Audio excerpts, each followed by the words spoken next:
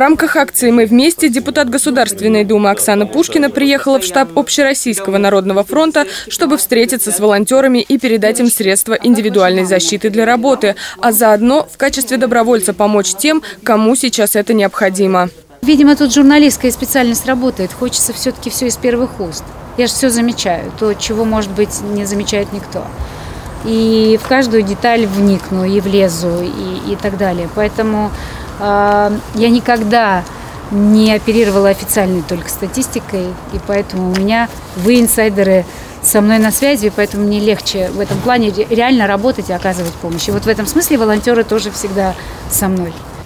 На волонтерах сейчас лежит немалая ответственность. Бывают дни, когда поступает порядка 80 обращений в день. Все они сразу обрабатываются. Люди в самоизоляции просят привезти лекарства, продукты питания, бытовую химию. У всех разные нужды. Заявки сначала принимают в центральном штабе, затем отправляют по регионам. Далее идет разделение уже по округам в главные штабы ОНФ. Численность нашего штаба в день в среднем 50-70 а, человек, в зависимости от загрузки. Также а, у нас есть а, два автомобиля, которые нам выделила компания «Роуф» бесплатно развозит нас, волонтеры. Также есть спонсоры, которые предоставляют нам питание и волонтерам, ну, чтобы можно было перекусить элементарно.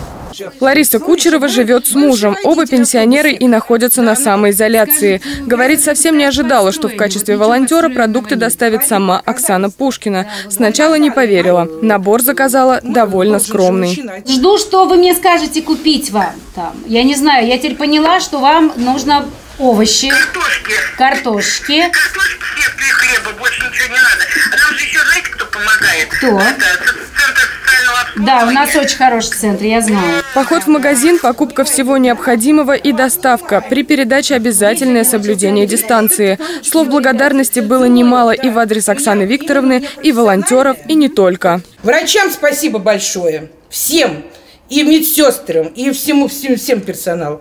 Это просто мы без них вообще ноль. И всем фармацевтам. Лекарства все есть. Волонтерская работа продолжается. Сегодня все больше человек вовлекается в эту деятельность. Получить помощь и поддержку в это непростое время должны все нуждающиеся. Елена Морозова, Станислав Трифонов, телекомпания «Одинцова».